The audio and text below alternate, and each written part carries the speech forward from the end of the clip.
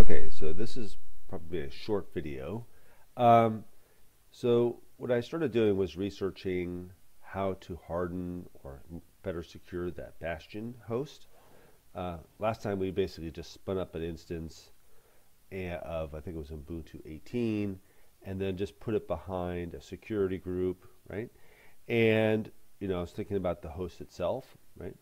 And long story short, it turns out that uh, Amazon has a um, quick start that pretty much is, I guess it's kind of their de facto way of recommending how to create those Bastion hosts. And we're going to basically switch over to that. So the first thing I did, just so you know, I went into the config of Terraform and ripped out the Bastion host section. So I, I didn't, I ripped it all out, right? And instead, um, I come here to uh, AWS Quick Starts, and I can just type in now, normally I'm loath to do this to, to, to kind of use off-the-shelf things, but this is done by Amazon itself. And um, I started to do it myself, and then realized it was a lot of work to secure it properly. And I've so deferred to essentially this. So basically, this quick start basically gives you the ability to spin up, and we'll talk about the key features of it. Um, well, we'll go through it in a minute, but um, it gives you, the ability just to spin it up and, and relatively easily have a secure uh, Bastion host. It's probably also good to understand what features that they're giving, right? Um, so I'm going to skim the features and then I'm going to walk you through how I built it. I used the, used their template and then and then um, we'll just observe some things around it. Okay, so one of the things here is if I can figure out.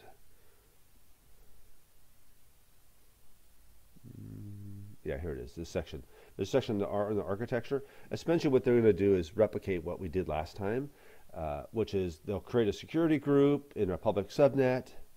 Uh, they'll put your, um, uh, your, which pretty much has the same permissions as what we had done previously, right? And it will um, also put your Bastion host there. It does add an auto-scaling group to allow you to spin up more than one Bastion host um, and then across multiple subnets. So that's one, one thing that um, we did not do previously. Um, and then this, most of the stuff is on the host itself.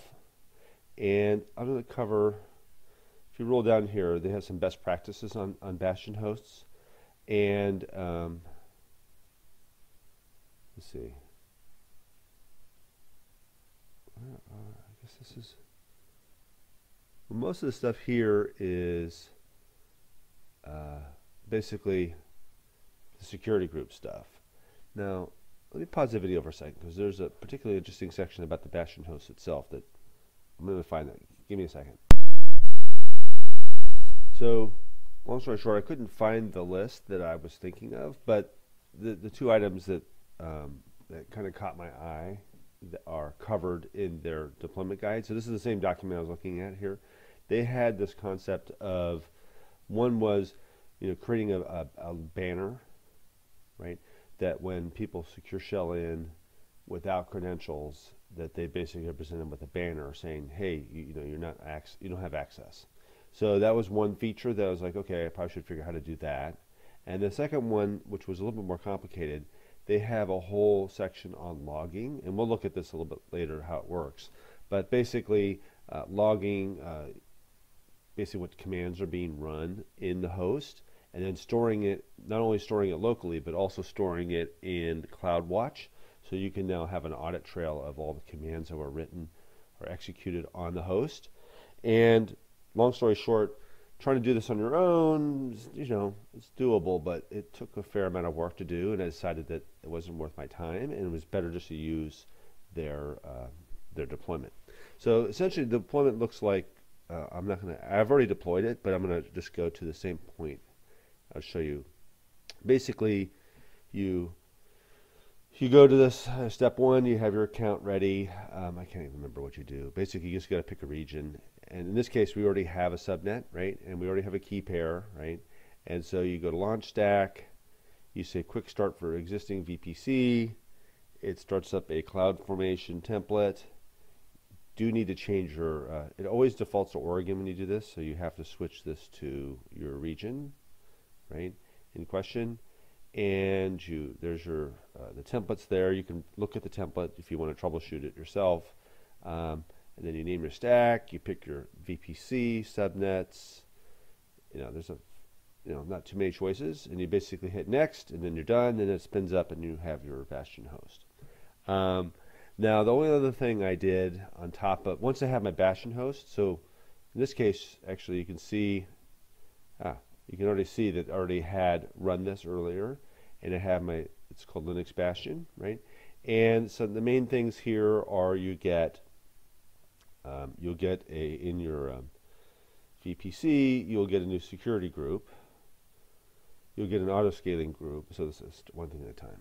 Um, security group. You get this security group called Linux Bastion right here, right? And then you get an EC2 instance that's running from an auto scaling group. So let's go to EC2 um, EC2 and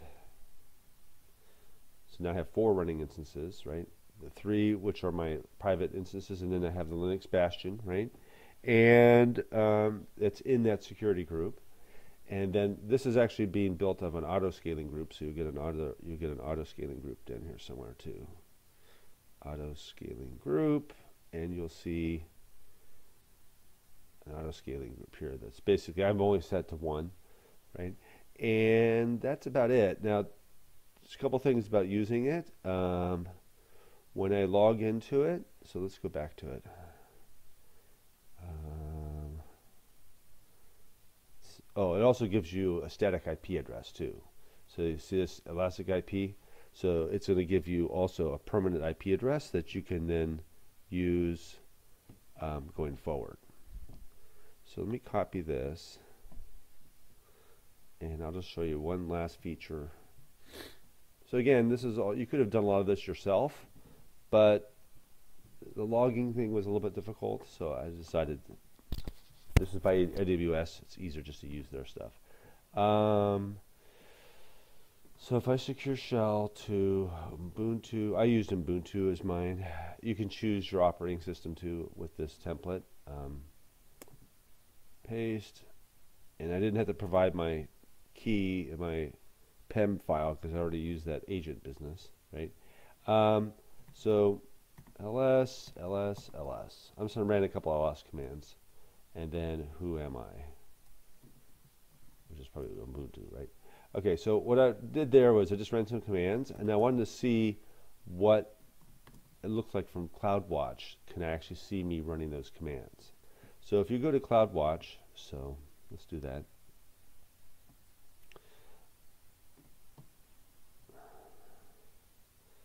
If you look at CloudWatch, you will notice that under logs, there's a new log group. And where is it? Oh, it's just not scrolling. Okay. Um, here it is. And yeah, down here, here's my ls command and who am I down here. Right, so the idea here is um, you can see this logging, just I just pretty much caught what I just did. Um, that's about it. So, of course, the only oh the only thing last thing I did, um, just so you know, is I then um, go back to here.